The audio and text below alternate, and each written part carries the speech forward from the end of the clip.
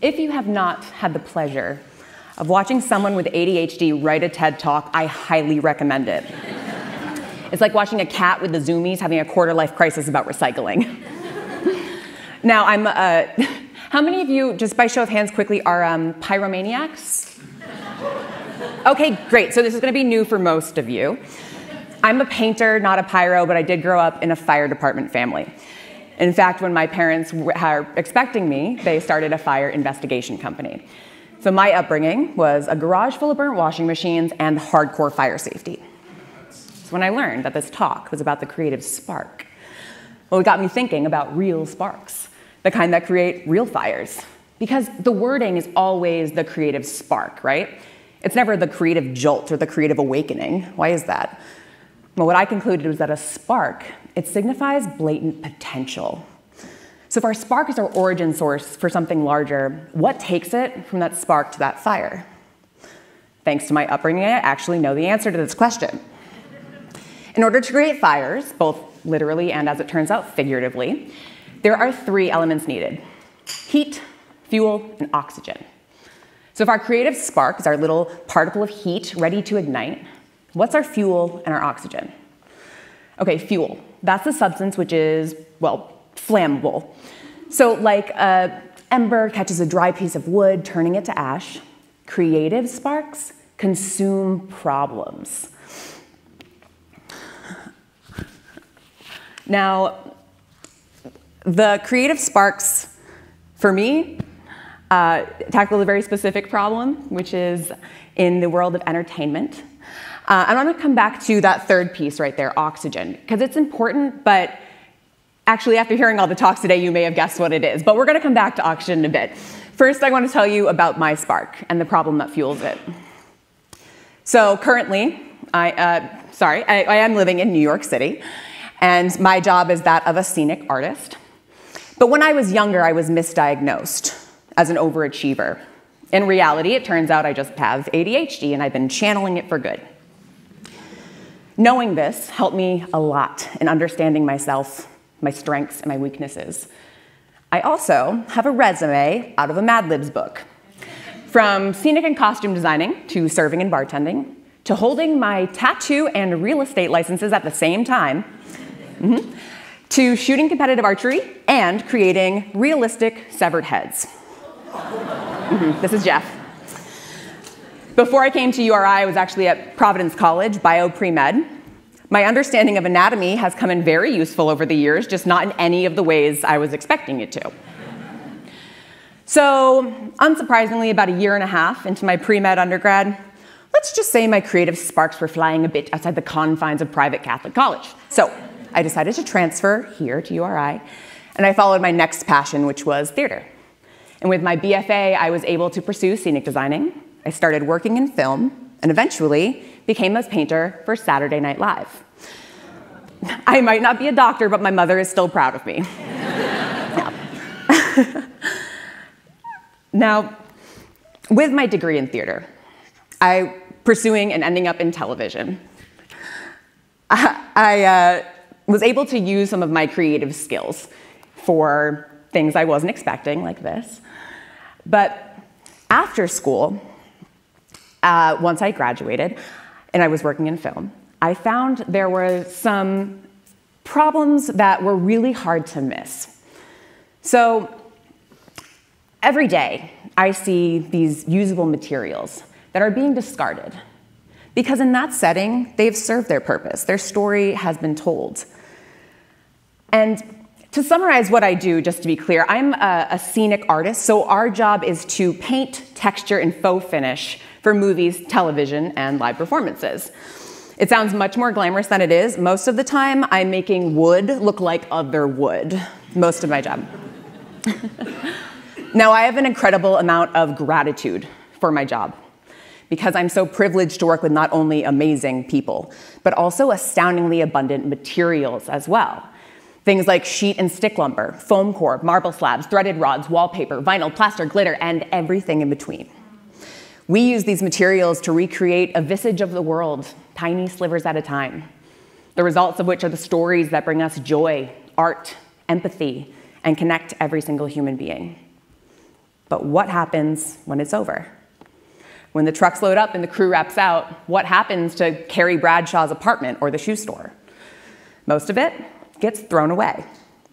Right now, it is easier and cheaper for production companies to fill a dumpster than to utilize what small amount of infrastructure exists. And this fuel, this problem, it's hard to miss. According to a study done by the Mayor's Office for Film and Television, in 2019, New York City had its biggest year of production ever, with over 80 episodic television series and 300 feature films. Take a minute to imagine how many dumpsters that filled. Now, according to the Bureau of Transportation Statistics, construction material accounts for roughly 40% of our national waste stream. And from the other side of things, when ordering material for work like mine, we're always told to order about 20% extra just to be safe. It's a smart move, but it's estimated that roughly 30% of the material delivered to a construction site is never touched.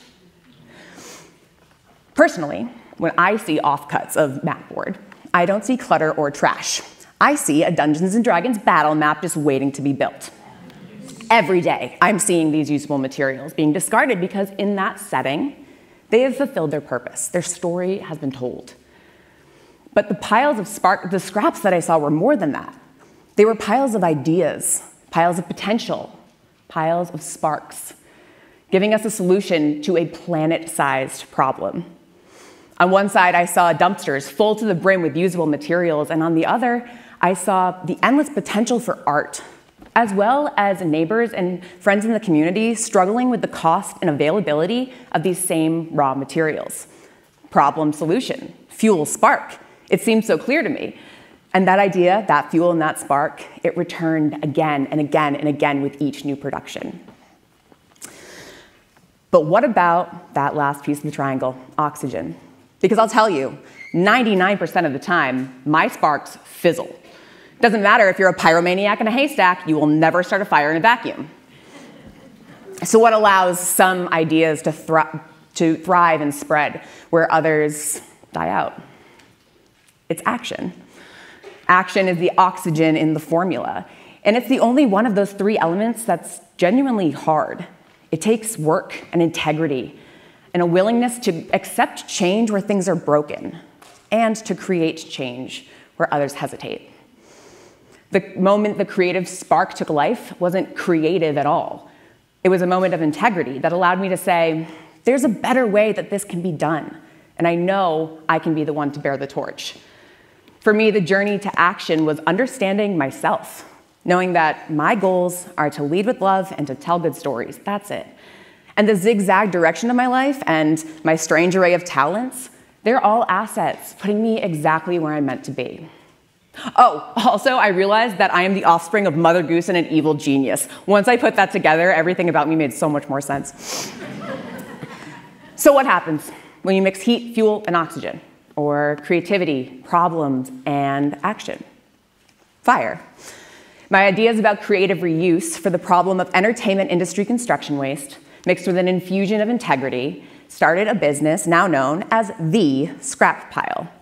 Our mission is to redirect material waste to local artists and community building needs, bringing these unwanted scraps to the people who can use them and giving them space to create something new rather than adding to landfills.